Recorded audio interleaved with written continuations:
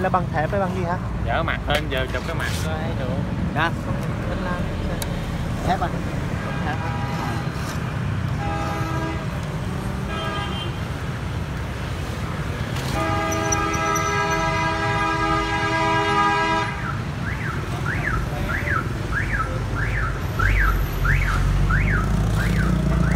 là sáng nào mình mình cùng làm về nữa không phải tại mình cắt vô đinh á. À, cắt vô đinh mình à, mới, à, à, mới- nó bị gãy đúng không? À, mình là mình liếc sơ lại mình làm.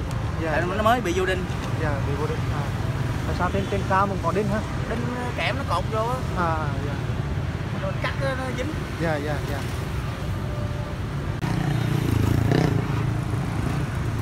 Đây là công việc thường ngày của các anh em công ty ờ, công công ty kinh doanh Đây là người giám sát rất là sắc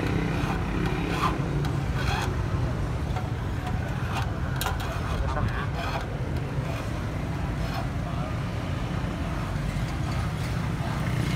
Út tài xế á để nói cho ông Út nghe đó. Là ông nói cái ờ, lớn là như chịu lộn mà rồi xong. Đấy không ổn không? Đấy đi. Đấy đừng này lại nè Nghe phải mấy cây dây nó đánh tích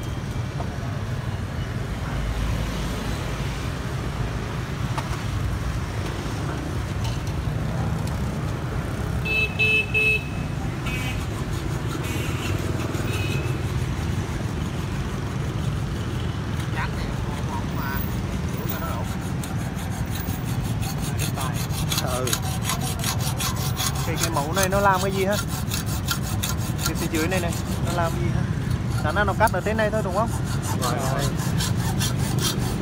Dưới này là để dao chặn mấy cái da đúng không? À. Chặn mấy cái da họ té